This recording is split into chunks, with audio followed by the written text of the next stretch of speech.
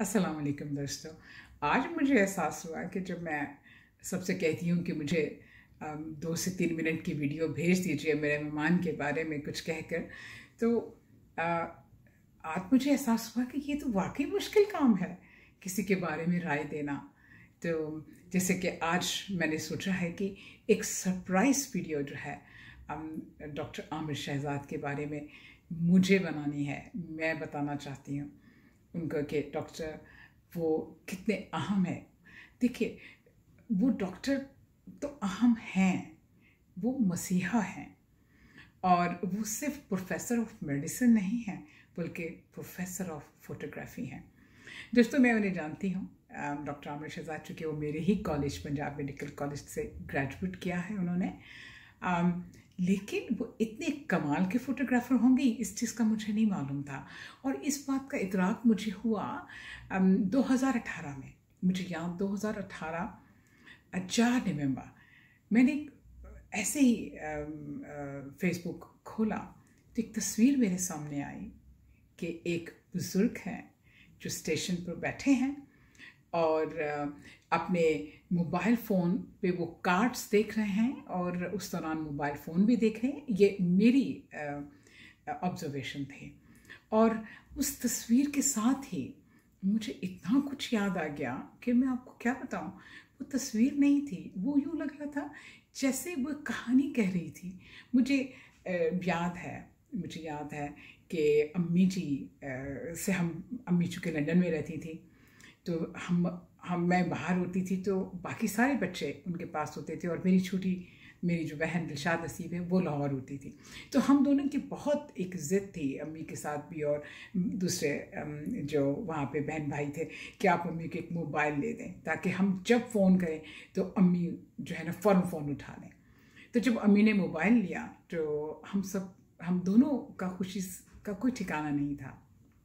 फिर मुझे याद है कि आफ्ताब की अम्मी के पास जब मोबाइल आया तो हम उनसे रोज़ाना बात करते थे शाम के वक्त और वो कभी कभी वीडियो कॉल करते थे तो वीडियो से हम उनकी नौरानी शक्ल देखा करते थे, उनकी दुआएँ जो है वो उनसे लिया करते थे तो वो जो है वो उनकी कुछ बातें रिकॉर्ड भी हैं तो ये सारा कुछ सेल फ़ोन से मुमकिन हुआ।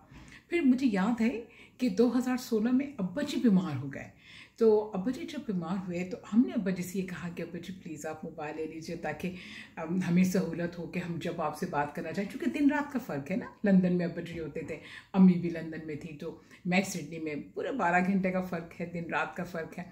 तो उन्होंने कहा कि ठीक है अब अब्बा जी ने हमारे स्टार पे जो है वो फ़ोन ले लिया 2000 साल 2016 और 2016 से 2019 तक जो कि अब्बा जी की इस जहान से गए। तो वो हमारे लिए फ़ोन जो था, वो एक आसरा था, हमारी जान था। और बस ये होता था कि जैसे सब कुछ है। फिर उसके बाद 2017 में मेरा बेटा मुनीब शादी होकर करके जो फ्रांस गया, अपनी वाइफ के साथ जॉब के सिलसिले में तो एक ही आसरा था कि वीडियो कॉल करता था। और जब वो जा रहा था तो ऑफ़ कोर्स मैं रो रही थी एयरपोर्ट पे।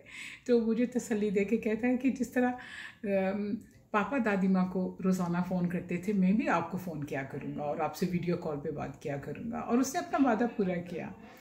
आ, और और जाने इस सेल फ़ोन से मेरे और कितने और रिश्ते जुड़े हैं और कितनी और दोस्तियाँ उनसे जुड़ी हैं कितनी यादें उनके साथ जुड़ी हुई हैं। दोस्तों इस याद के हवाले से जब मैंने वो तस्वीर 4 नवंबर 2018 को डॉक्टर आमिर शहजाद की खींची हुई वो तस्वीर देखी तो अब देखिए मुझे कितना कुछ उससे याद आया। और फिर उसी दिन ये नस्म जो है, ये जो थी वो, जो है वो आमद हुई उसकी और मैंने इसके ऊपर एक नस्म लिखी है।